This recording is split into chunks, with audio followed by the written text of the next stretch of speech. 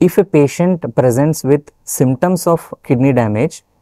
then it is obvious that patient is having kidney failure and the doctor will uh, look into their drug history or medication history and uh, they will be uh, assessing the patient as a whole to look uh, to see whether uh, there are any other risk factors for the kidney damage. And if there are no other risk factors and if the drug is causing that uh, kidney damage they will usually attribute the kidney damage to drug induced kidney disease if patient is not having any other uh, illness which can damage the kidney or if their kidney size is normal and if their urea and creatinine levels are increased and if they are previously normal and now after starting the drug if they have increased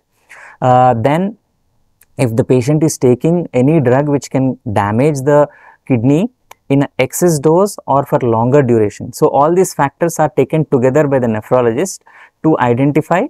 whether the drug is causing the kidney damage or not. Sometimes there will be no clarity even after taking all these uh, things into consideration. Then a kidney biopsy is done to see whether there is any tubular damage or an allergic reaction inside the kidney or if there are any crystals formed inside the kidney from the drugs to identify if the drug is the culprit for that kidney damage.